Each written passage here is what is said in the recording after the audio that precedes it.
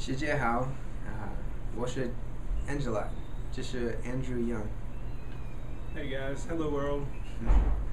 好的，今天我要表示我们节目有什么发展，所以、呃看一看吧。Uh, so, show 'em what, what we're doing.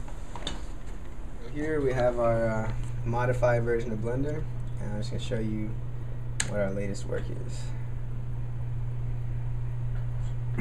So here I implemented uh, the first phase of uh, screen space fluid rendering to try and uh, make it look uh, less like discrete particles and more like a smooth surface.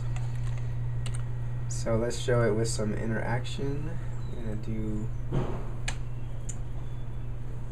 and I've shown this before without the rendering, but we can basically move the um, emitter around. But now we also do have some basic collision going.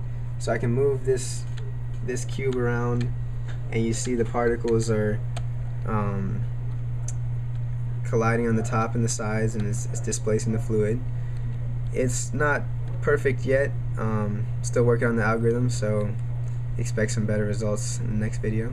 But just want to show you guys what we're doing these days. Alright. And then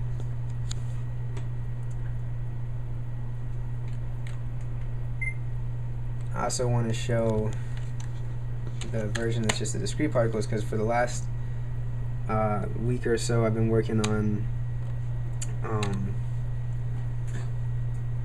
some bug fixes. I mean, we, we got some issues with the, the actual numerical simulation that we we're looking into, so that's kind of helped me up from making new features and, and clean up the interface some. But you know, we're still working hard. So, all right.